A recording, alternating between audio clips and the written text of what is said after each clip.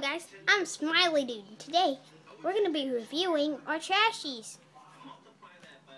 Alright guys, so um, these are all my Bin-fections that I have. And I might have more, I just didn't find them, so yeah. And they're all in this bin. So it's kind of hard to look through all of them, but yeah. So, turn on the flash so you can kind of see through them. Like if you look. Okay, I'm just going to turn that off. You can kind of see through it like that.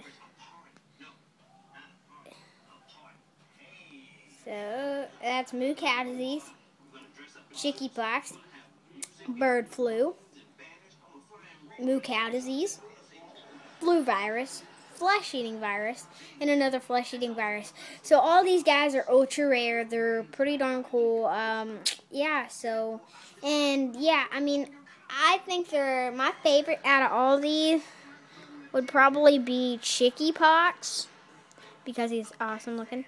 But yeah, so thanks. Um, so th thank you for watching and comment and subscribe and tell me what you think. So thanks. Bye.